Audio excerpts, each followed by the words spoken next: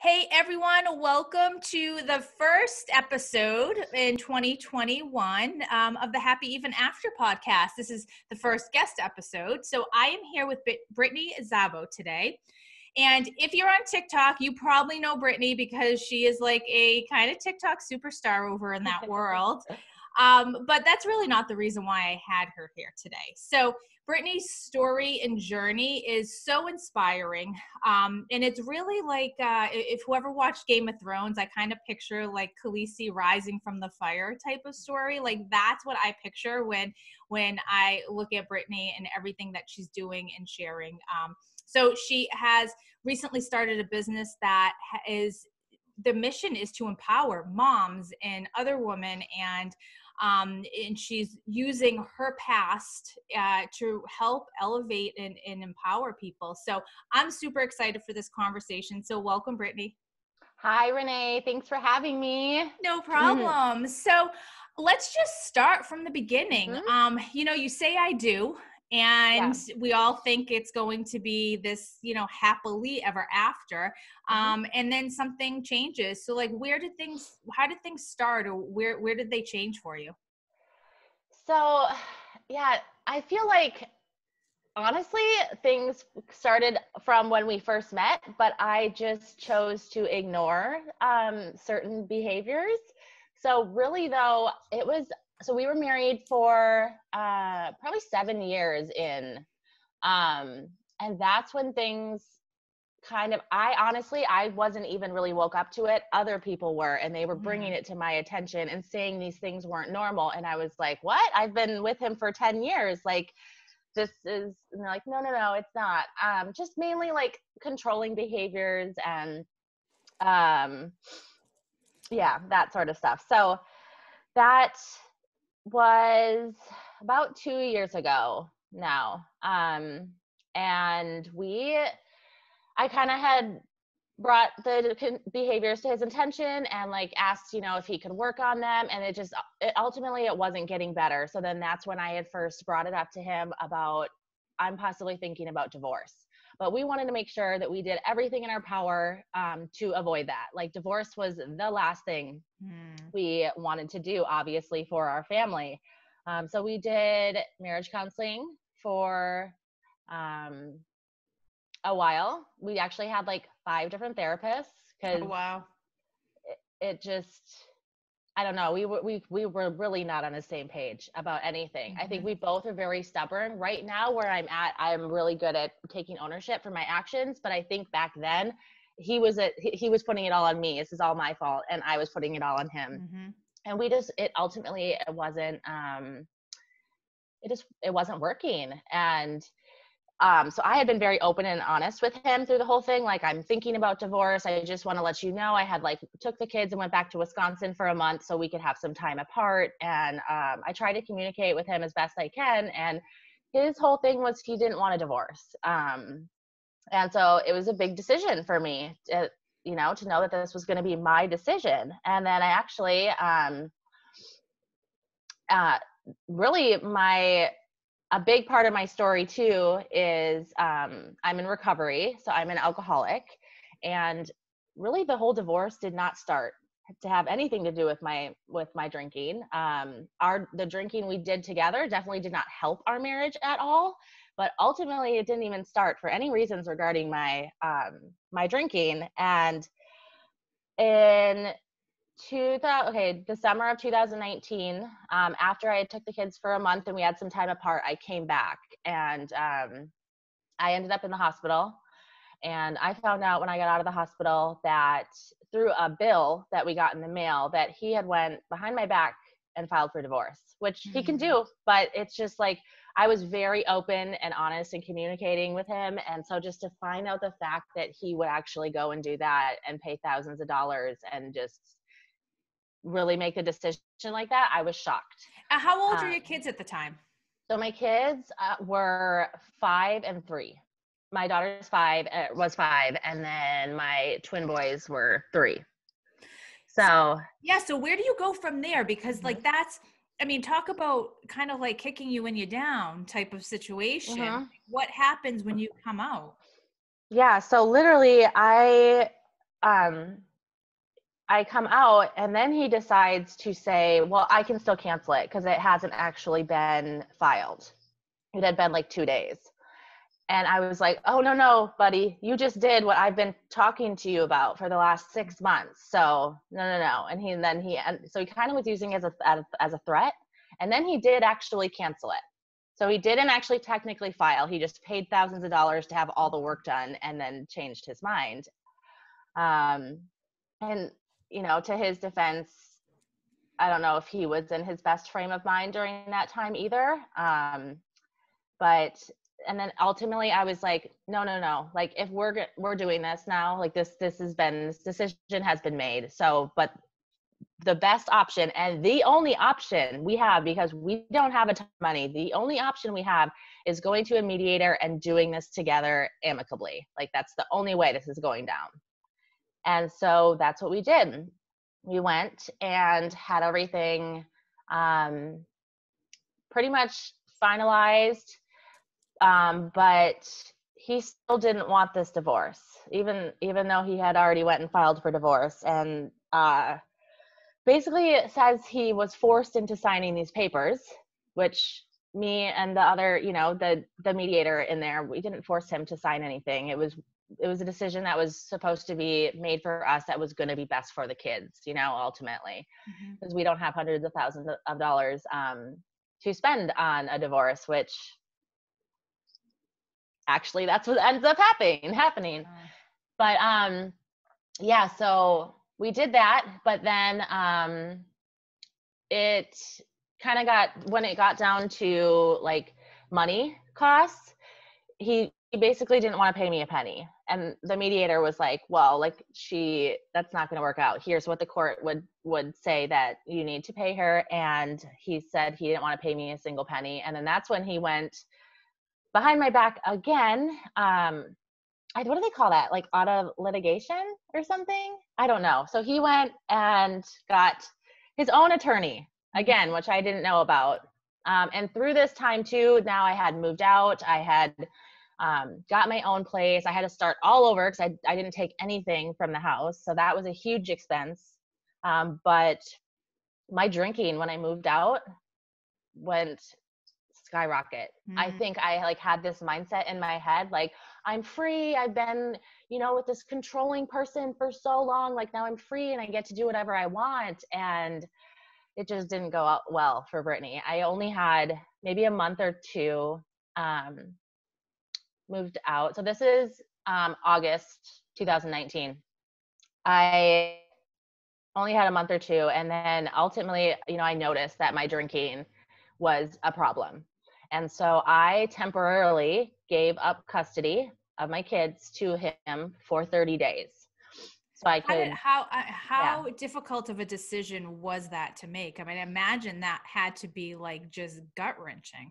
It was, it was, it was, it was gut wrenching. And that's another reason why we were going to go through a mediator because I have my issues. Um, with alcohol and he has his issues with other things. And we had both decided that we are not going to bring this up with attorneys. We are going to figure this out. So we, because it, and so when we ended up having to bring it up to the mediator, um, so we were still actually going to the mediator during this stage. She was like shocked. She was like, "Whoa, you guys didn't tell me like you had all this other stuff going on." We're like, "Well, we said we were going to keep it between each other, but it's clearly, you know, it's out there now." And so that was really hard.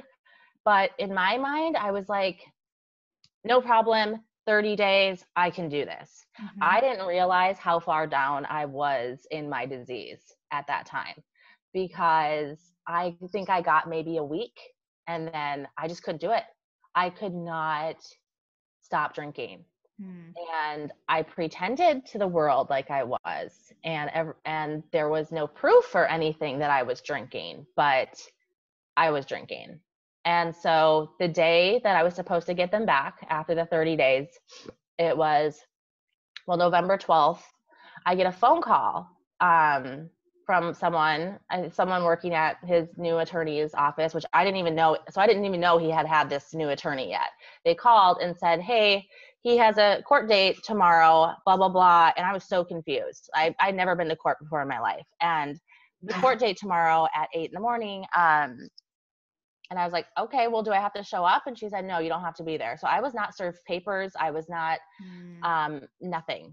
And so I end up calling an attorney and going to meeting with her, going to meet with her. And she's like, honestly, like if you haven't been drinking, if you've done everything you've said, um, and you haven't been served papers, like if you are being honest with me, you have nothing to worry about. You don't need me there tomorrow. I will come with you there tomorrow, but it's going to cost you thousands of dollars. What do you want to do? And I was like, Do you really think I'll be fine? And she's like, Yeah. So what happened? Well, so first of all, I wake up late. I'm the, oh, I, I'm gonna cry because it's just like Brittany, Brittany, Brittany, you know. So I wake up late because I was literally up the night before drinking, standing in the mirror, pretend like mocking what I was like practicing what I was going to say to the judge because I was so nervous. So I wake up late. I get there. Um, but I don't know what I'm doing. I've never been in a courtroom before. I have no attorney with me. He has his his attorney, his whole family there, and I'm um and I wasn't served papers, so I had no idea what I was walking into. And basically, um, the the judge talks for a little bit and then she says okay what was ordered? And i said okay your honor like i just want to make sure like we're going back to our original schedule. Me thinking what that original schedule was was before the 30 mm-hmm. days i had gave up temporary custody um, which was 50 50 and she said yes what was ordered? So i walked out of that courtroom called my mom. I thought everything was fine. But that's not then, what happened right? No. Then i looked down at the paper and it says supervised and unsupervised visits. oh my god. And like i that that's and that is that was the worst thing so how long did that happen? How long did that go on for that's the supervised visits?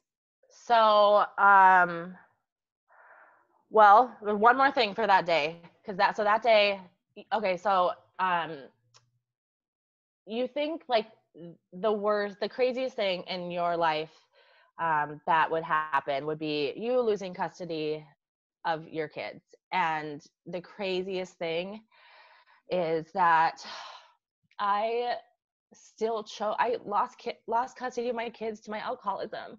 And um, the first thing I did when I walked out of that courtroom was I went and got a drink. Mm. And like it's terrible. Um, that that's how bad I was in the disease, you know? Thankfully the next day I did end up checking myself into a detox because I had to be that's the whole thing is when I I, I needed a lot of help because I was I was so sick that I if I stopped drinking on my own, I would have seizures and all that. So I ended up checking myself in the detox. Um, and then when I got out, I had spent I had um, emptied my bank account to go in there. I paid out of pocket. So when I got out, I couldn't now afford this condo that I had just spent thousands, thousand dollars getting everything for. You know, I finally I finally got out of this situation. I was doing good, but now I can't go back there because I can't afford it. So I moved back in with him and the kids. And ultimately, I wanted to be with my kids, you know, no matter what. So, and it, the whole thing is like he took my kids away from me saying I was unfit to parent. Like I have, a, I had a problem with drinking, but um, I wasn't like I was like, I don't know. I don't want to. I don't want to. Don't want to like make you know make my drinking sound like it's okay. But he took them away from me for being unfit to parent, and then just lets me move right back in. And it's like mm-hmm. if I if you really thought I was unfit to parent, you wouldn't let me move back in. How long were you? Did you move back in with him? How long were you there? I was at the detox for two weeks, and then I moved back in. So and I then- spent last Thanksgiving and Christmas back there with them. And then when did you move out again? So um, I moved out.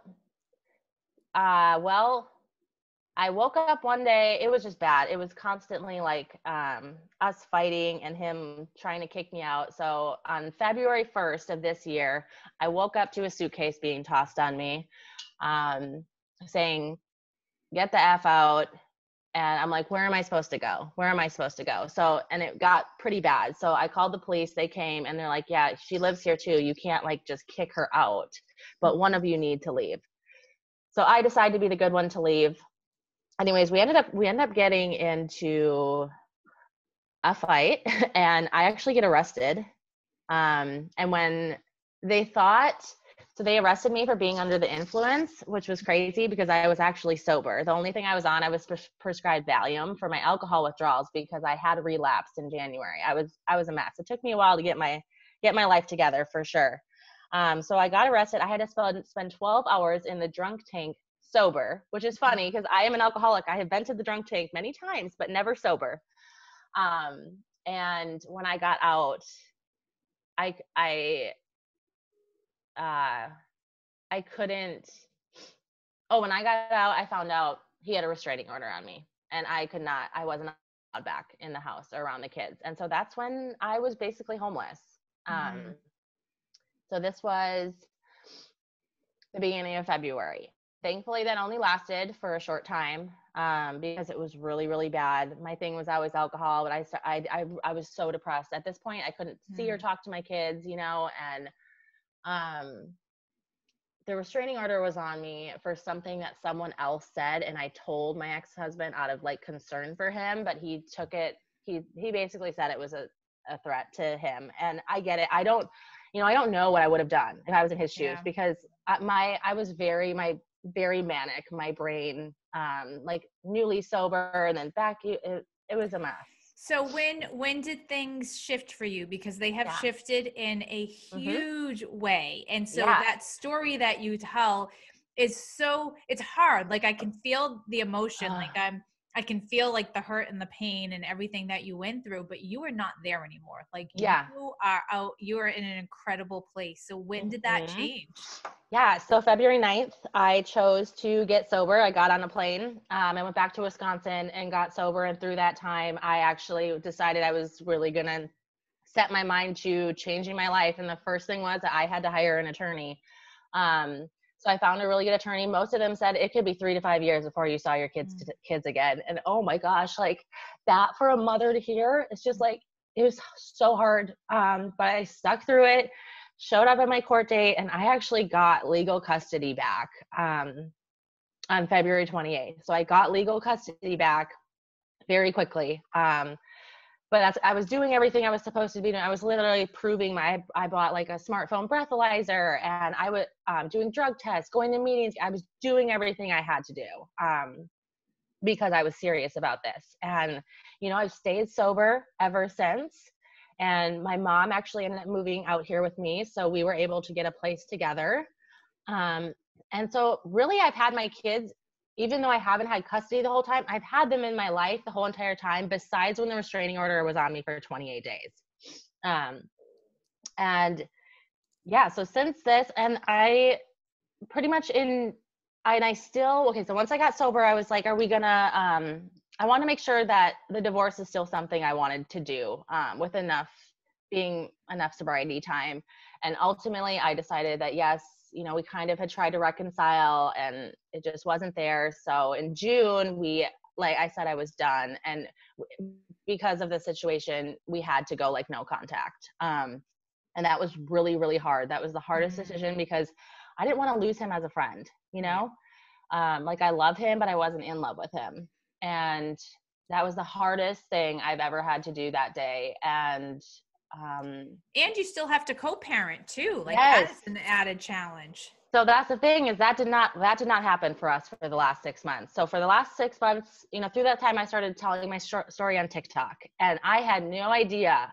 Like i literally started telling my story um, to hold me accountable for for my alcohol. So like the whole world knew that i was an alcoholic so i can't really drink around anyone you know? I really did to hold me accountable and what it has turned into is something so much more so much more. It's I had no idea how many people would be able to relate or have gone through something similar and need help going through something similar.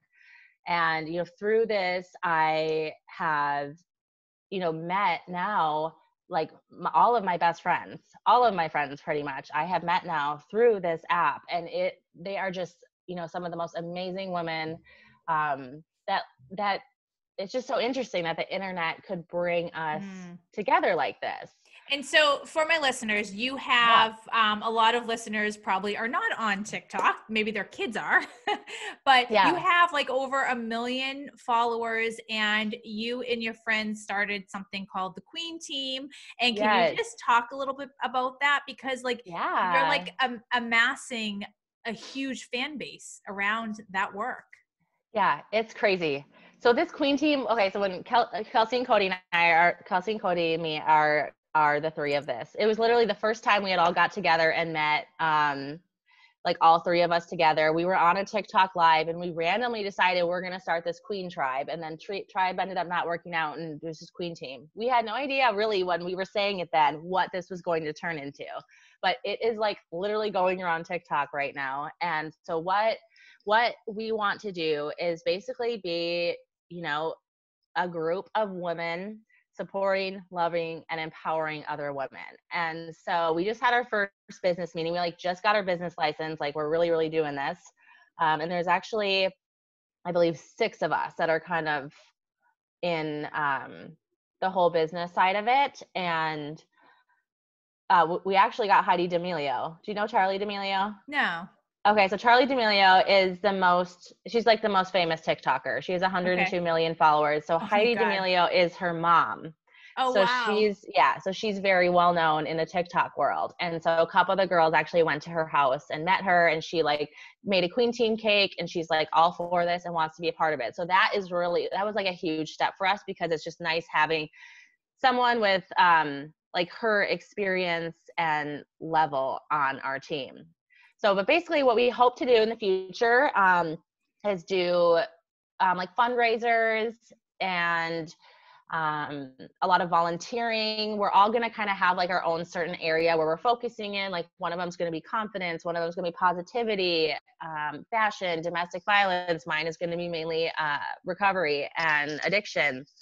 And we're all going to kind of find our own ways to help in that. But then we're also going to do like queen retreats so mm-hmm. we're talking like possibly renting a whole resort and like people being able to come and we'll have different like speakers and events and um you're building an empire. Yes, we really are. And like just all these women already like are making these videos on t- TikTok and they just feel like so happy and loved and like a part of like all of a sudden just by like we saying because we are inclusive. We're not saying it's just six of us. Like we are literally anybody who wants to be a part of our team like you can be a part of our team. Like we have merch. We got matching tattoos.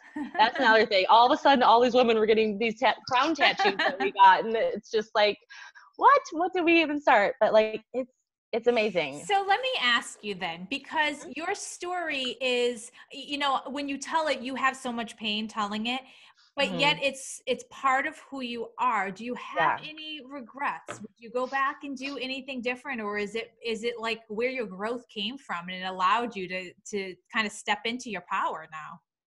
Yeah, that's a good question. So I literally like I always say like my past doesn't define me, it made mm-hmm. me. I, you know, I went through a lot of stuff that I wouldn't wish anyone else in the, you know, have to go through, but all of that needed to happen so I could be here where I am today. I would not be this person if I hadn't have gone through all that. And so that was hard for me when I started sharing my story to like are you do you feel comfortable really telling the world you know that you lost custody of your kids as a parent? It's you know one of the worst things that could happen to you and um you know it's it there's definitely pros and cons with it but the pros outweigh you know the cons by far and um yeah it's just it's amazing to be able to help other women in these situations and even other you know addicts and alcoholics. I actually through tiktok i got a job at a treatment center too. So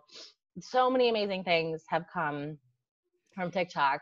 But no i don't so no i don't regret anything. You know i i don't wish it on anyone to have to go through but it made me who i am today. So what advice do you have for someone who's listening and maybe is secretly struggling or maybe not so secretly struggling um, with being an alcoholic or kind of in that place that that you were?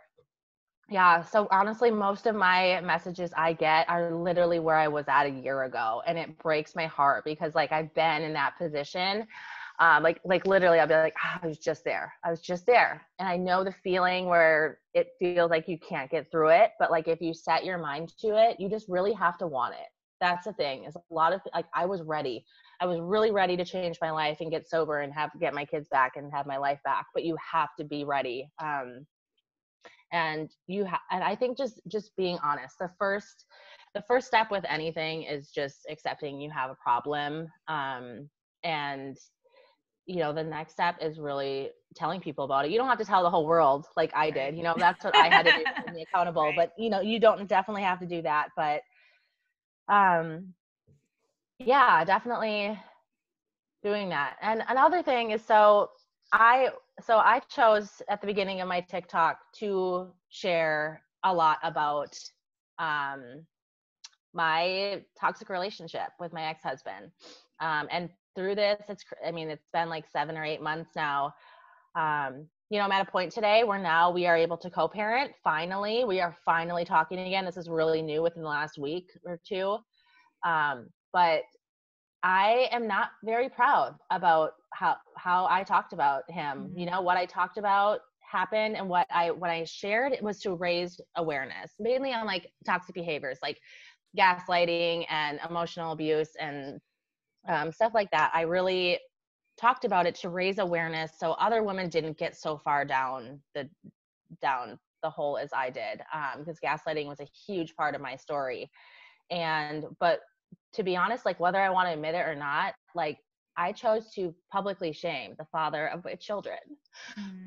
Um, you know, on social media and like for that I'm like embarrassed Mm-hmm. honestly. mm You know, I helped a lot of women. I get messages all the time like you gave me the courage to leave my narcissistic husband and I you know, I just I hope that all those women, I hope they really needed to leave, you know. Yeah. And um it's just a hard place to be in because my intentions were not to do that, but I see that now. So I hope now going forward, where we're at with this co-parenting journey, you know, that that can be give hope now to those women who did leave and are probably going through the same thing what I went through with not being able to talk to them. I want to be able to show that you know you can find forgiveness. It took us a while, you know. We've we've been going. We still aren't even officially divorced yet, and it's been a year and a half. Yeah. Um I think, you know, and I think what you just said is important enough to highlight because it's that we are human mm-hmm. and mm-hmm. everyone makes mistakes along the way and that's okay. Like I don't know anyone who has gone through the divorce process and has not said things, done things, you know, talked about their ex in a way that they will look back and say, "Ooh, maybe I shouldn't have done that." I mean, it's such an emotional process Right. It's a human reaction to do mm-hmm. that. Yeah. You know, so it, mm-hmm. I think the problem is when someone spends five years doing that, then it mm. just really hinders that co parenting. But when you're in it For and sure. you, you, still are in it, you're not even divorced yet, mm-hmm. you know, mm-hmm. and I think that, that that's important. So, like, give yourself a break. You yeah. know? Yeah. Yeah. Okay, good. I know. I was really a lot of like a lot of my friends were like, "Don't tell the internet, don't tell the internet," like that. I'm kind of like back speaking with my kids' dad, but I was like, I just I share everything. Like social media is my life now, and I just I like really pride myself on being honest because in my addiction I was not honest at all and so I just and I felt like what we were going through could actually be helpful to someone. Yeah. Um, and there's even certain things like we had a conversation the other day, you know, I say gaslighting is the story of my life yet I he doesn't even know what gaslighting is. So mm. there's just a lot of things that I hope that in the future I like could possibly be helpful. Like what if these things were talked about more in relationships? Like maybe a lot more could have been avoided, right. you know? Maybe my intentions of what he was doing weren't the same as his, you know? I you know, I thought it was all for him to gain control, but maybe it wasn't. And mm-hmm. so I think there's just a lot to hold um that could possibly, you know, if this goes out well, like who knows? It's only been a couple weeks. So like everyone's like, yeah. Brittany, don't get your hopes up. You know, you've been hurt a few times. So I'm like, okay, yeah. yeah. And I think that, I, I think that you just t- keep moving forward and you keep, you know, when all else fails, you treat it like a business relationship and yeah. you, you speak to each other like you would a boss and you remove the emotion from it. And, you know, sometimes that means not communicating on the phone immediately, like you're doing it through email or text or something like that, where you can have a second to pause and not react. Yeah. Um, yeah. We've been using TalkingParents. Yeah. Actually. Yeah. yeah. So it's uh and that that that's like one of those communication uh co-parenting apps, right? Yep. Mm-hmm. Yeah, there's there's a few of them out there. um, so it's a journey. It's it's yeah. a co-parenting. The go healing through the divorce is a journey, and then mm-hmm. co-parenting mm-hmm. with that person is a journey too, because there's yes. so much emotion wrapped up in that. And then your story is even thicker because of what you know everything that you had gone through um, to to rise yeah. from it. But I think that the the message of it is that you anyone can absolutely come out the other side and even mm-hmm. when you feel like you're at your lowest low and you're in your darkest place like there is light if you allow it in and if you're willing to mm-hmm. like pick yourself up and take a step forward and that's what your story is about and it's about being honest with yourself and um, yeah. really with with with the world yes yeah yeah so brittany um, we know that there's huge things in store for you. Um, I'm excited to see how it all unfolds because y- your your tribe is really blowing it up out there. I mean, you guys are doing some really awesome stuff. Um, yeah. So I'm excited to see where it goes. Um, yeah. Where where can everyone find you, follow you, connect with you? Yeah. So my name on TikTok and Instagram is Brittany Jade um, with underscores for legal reasons, I decided to take my last name out, but then I still leave it in everywhere. And now it's like, whatever, whatever. So Brittany Jade. Um, and then our business name, we're calling ourselves the Queen Team, but our business name is technically Perfectly Queens. So you can find us on Instagram, Perfectly Queens, or on TikTok, Perfectly Queens. We are just kind of starting getting those accounts going, but we're hoping to just kind of like from any woman who like want to be a part of it to kind of be able to join in. Um, so it's just a big a big community where you know these women know that they that they are loved and they feel just a part of um i think a lot of us lose i did a lot of us lose ourselves yeah. in marriage and motherhood i so did not true. know who i was and so this has been such an amazing opportunity for me to really figure out who i am i'm it's a definitely a journey i'm still figuring out who i am you know especially with getting sober um I'm coming up on 11 months now. It's crazy. It's going to be almost a year. Um, since, Congratulations. Thank you. Yeah. And uh, it's been amazing. And another thing I really want to do is just show that, you know, sobriety can be fun. I think everybody thinks mm. it's boring. And so I really want to be a positive influence in, in that sake, because that was one of my biggest fears when I first got sober was, uh, I remember th- saying like, I'm going to be the most boring person ever.